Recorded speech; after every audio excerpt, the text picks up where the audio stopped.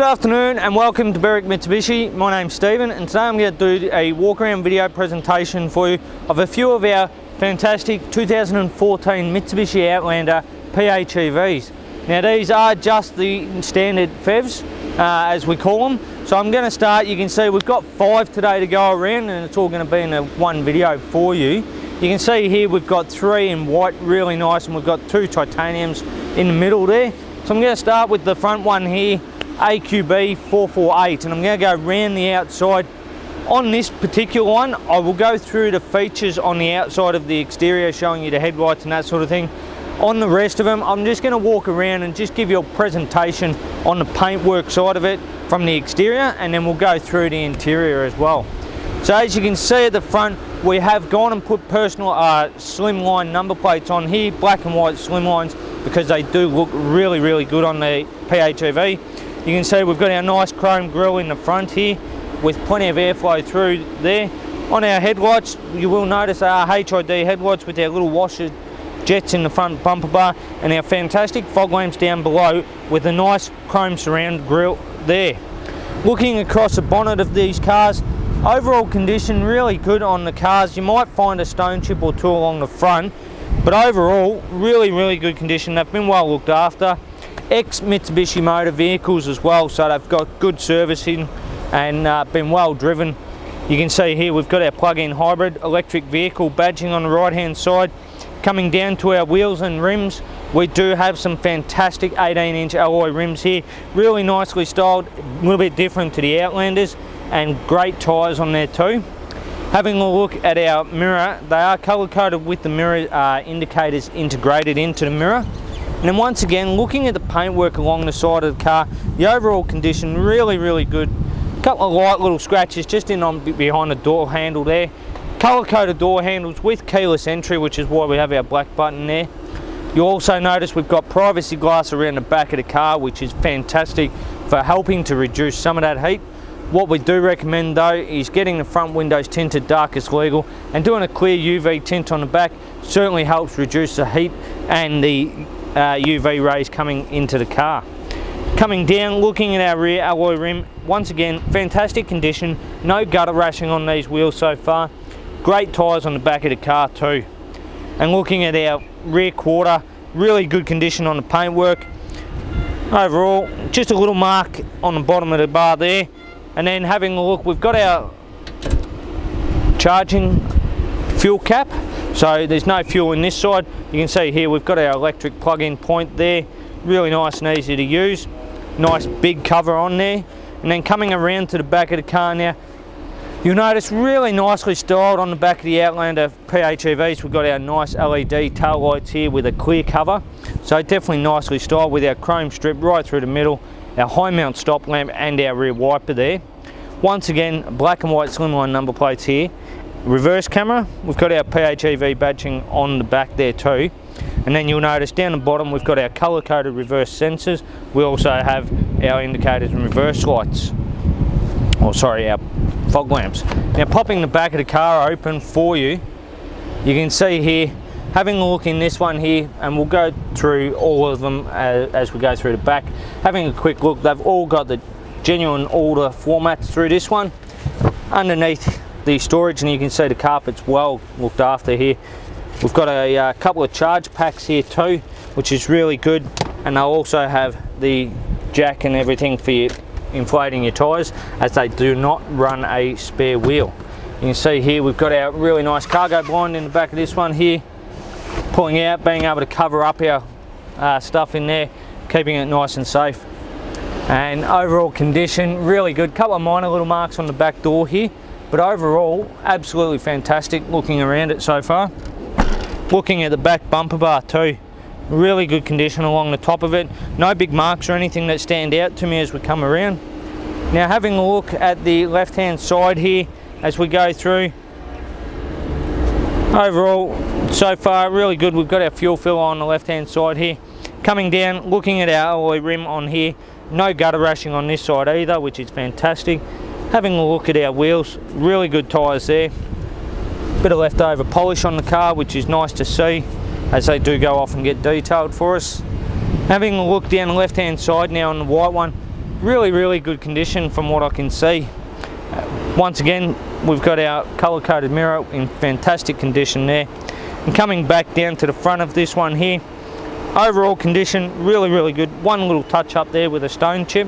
Looking at our rim, fantastic conditions on this one and great tyres there too. As we come back around towards the front, very good condition.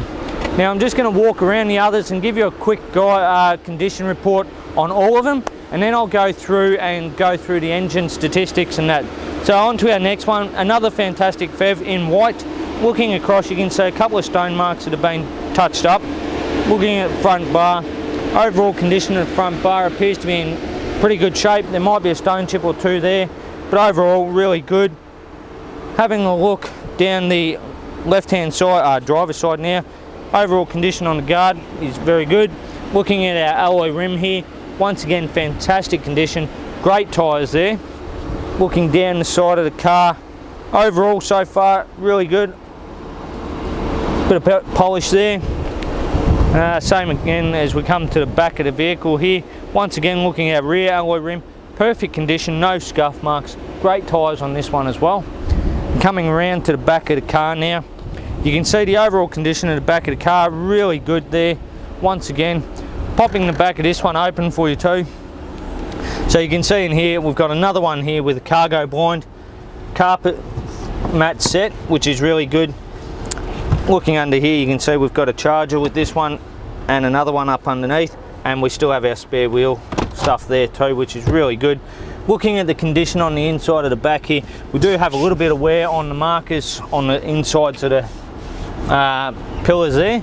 But overall and just some very minor marking on the back there but overall really really good there. Looking at the back of the bumper bar overall condition very very good here. Coming down having a look at this one as we come down the passenger side once again we'll have a look at our alloy rim there. Fantastic condition down there and great tyres on it as well. And as we walk around the overall condition of these cars are really really good. They do get very well looked after through Mitsubishi Motors right down to the front. Looking at our front rim here just a minor no might even be uh, glue from the new tyres that this one's had on the front.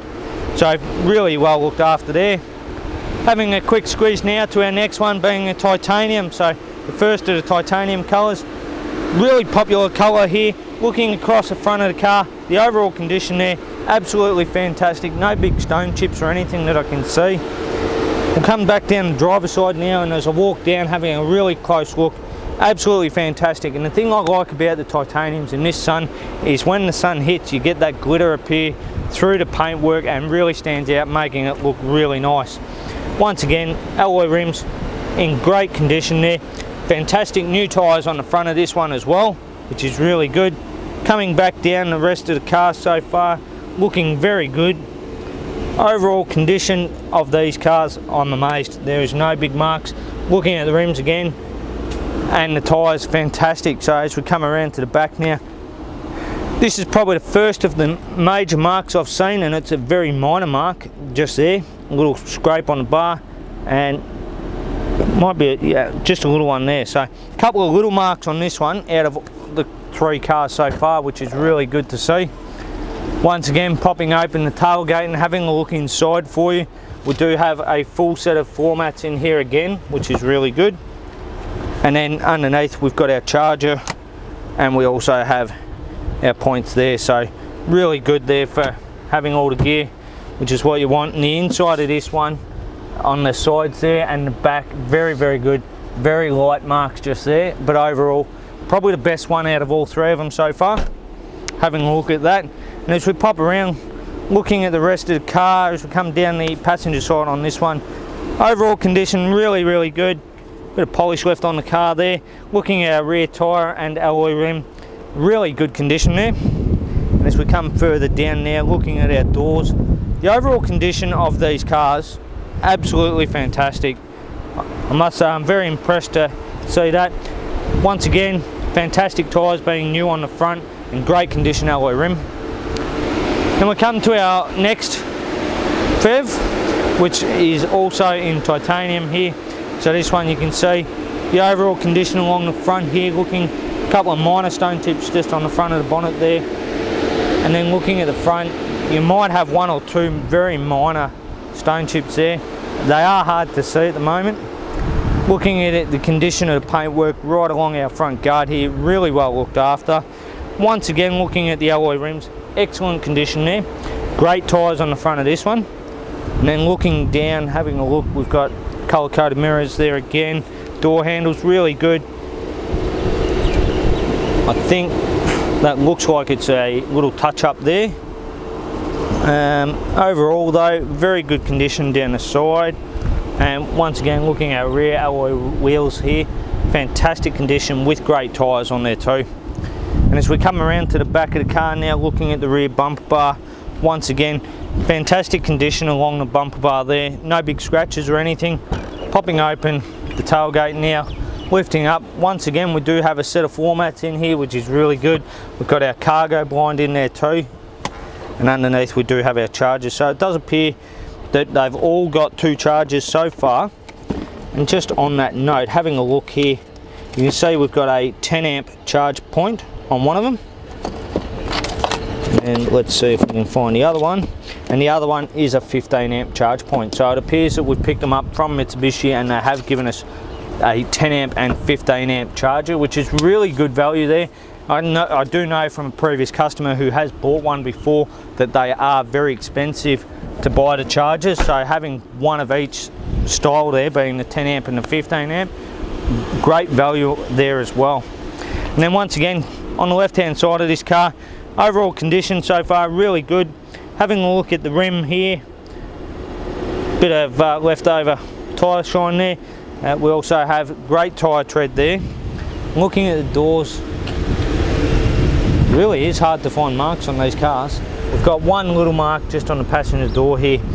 Been very picky to find those there. And now looking at our wheel on the front here, this one does have some gutter rashing here. Looks like it's just, just scraped a uh, taller gutter. And looking at the tyres, really, really good there. Now as we come back, that's our fourth one, and now onto our last one in white again, you can see black and white slimline number plates there.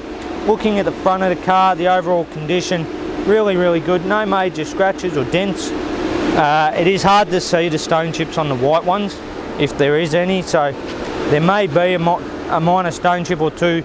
Being a pre-owned car, it does come that way sometimes. We do try and point them out when we see them. But having a look, once again, the guards, everything in great condition. Looking down at our alloy rim here, minor gutter rash just here but fantastic tyres. They do appear to be brand new tyres on there as well which is really good. And then looking along the driver's side of the car really good condition there for you. Coming through might be just a couple of minor little marks on the door handle that I've caught there. But the overall condition of these cars once again looking at the alloy rim on the rear fantastic there. Great tread on the back tyres as well which is really good. So you know these cars have been looked after and well maintained. Looking at the back of the vehicle, once again reverse sensors, everything's there. The condition of the paintwork really, really good there, which is what you like to see.